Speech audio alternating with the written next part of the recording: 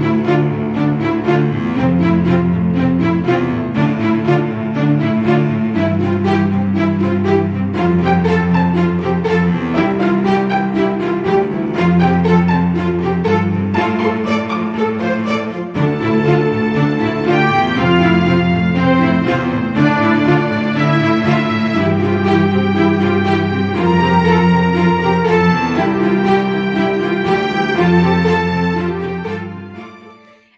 Brigantia Blackbird of Blackbird's Brew. Happy Thursday and welcome to the Pagan Housewife. We're going to be talking about local exploration today.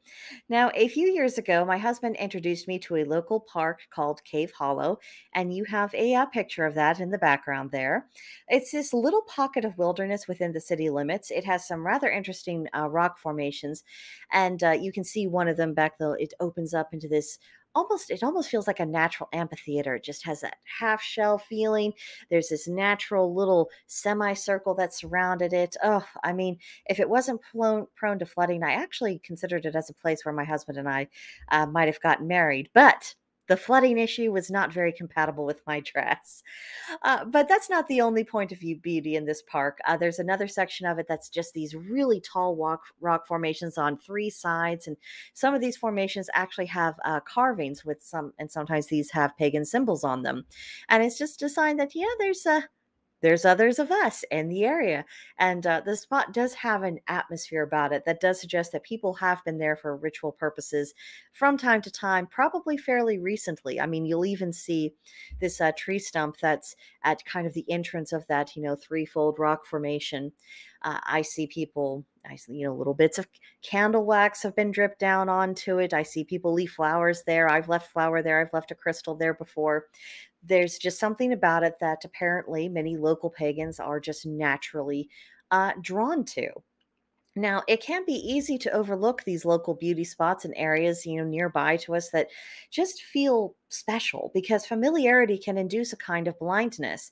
And so we have to reopen our eyes and try to look at our local surroundings, you know, freshly, almost like a stranger would be seeing it for the first time.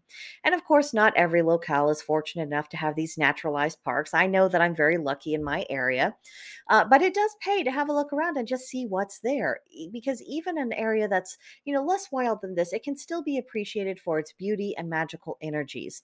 It's also an opportunity to have an outdoor area for discrete spiritual activities, you know, leaving an offering of bird seeds or wildflowers or even a crystal, like I mentioned before.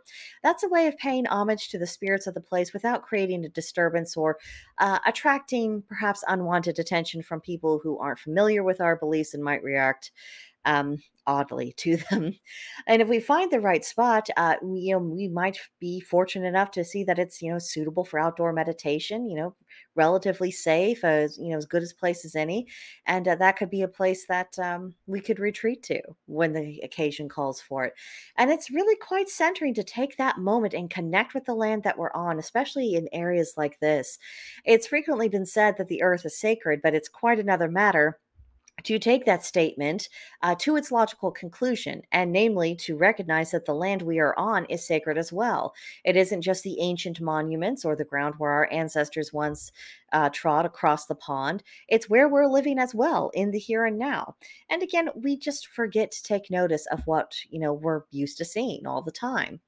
And uh, searching for a place in the outdoors that we can return to, it can be a fun adventure, especially if, you know, let's say you live in an apartment and, you know, your apartment, it doesn't have a garden, you don't really have any outdoor space of your own. And here's a perfect excuse to get out of, you know, the apartment without, you know, having to go to work or run an errand or do something that, you know, is necessary to do in life, but, you know, isn't particularly fun. This can be a fun thing. And ideally, this should be you know, if you are successful in your search, uh, you can find a place where you can escape to, a place where you find it easy to connect. Uh, even if you're not doing any major magical workings or rituals in that space, it should uh, still have a certain atmosphere. Now, of course, any place that you return to time and again will eventually take on more of that atmosphere. But if it's already naturally there, it's a lot easier to connect and relax into those energies. So let's uh, think about it. What is your favorite kind of natural environment? And if there isn't a place of that kind reasonably close to where you live, what's a close second? Or is there a place you've never been to that might be worth exploring? I mean, you could be surprised where you actually find those vibes that you've been looking for. And if nothing else, I hope just thinking about this sort of thing inspires you to get out and about more often in the summer months and just enjoy the season. We all need time away from the endless screens and we need to disconnect from the noise and from the rest of the world. And with any luck, you will discover a new place that you enjoy and hopefully one that also speaks to you on the spiritual level. At any rate, it does no harm to seek it out.